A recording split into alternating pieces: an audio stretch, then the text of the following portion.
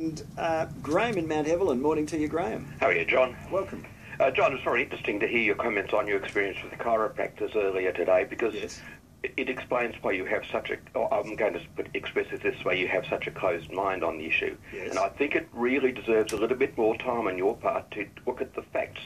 Um, just because I went to a physio recently with an injured ankle and it got worse and worse under the physio's treatment, and I went to a chiropractor, a particular one, who's trained in dealing with limbs and, and joints and so forth, and he felt the ankle and said that bone shouldn't be there. He checked his charts and I walked out of that. Walked out in perfectly. Now, should I slate all physiotherapies on one experience?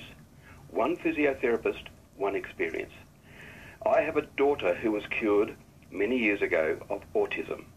Now, we don't have the time to go into all the details. If you wanted to contact me off air, I'll give you all the details. Another child, or her and another child, cured of colic. They're the two complaints that the minister says cannot be. All I'm going to say is with cancer, some cancers can be cured, some can't. Graeme? Some doctors know how to do it, Graeme, some do, don't. Do, do you do you trust scientists? Do you think they know anything at all? I have a daughter who's a medical scientist. Okay, so do you accept that things like double-blind tests and scientific evidence is actually evidence?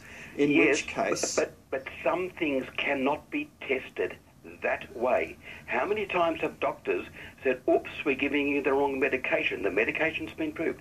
We're giving you the wrong medication. You've got to try something else. Some things you've got to look at people's experience. But I have a daughter who has not spoken for weeks and my wife is there, and the chiropractor says, I'm going to have a look at your daughter before she leaves the room.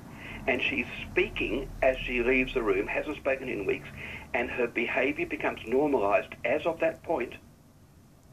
Are you going to say that it does not stand up to scientific evidence? I don't know the facts and circumstances of your case. Of course, I don't, and you do. But when it comes to assessing the validity of unproven medical techniques, I'm very happy to trust the people who have done the research and to listen to their advice. Susan in Elwood. Morning, Susan. Good morning. I was just curious about um, um, this is relating to the Trump campaign.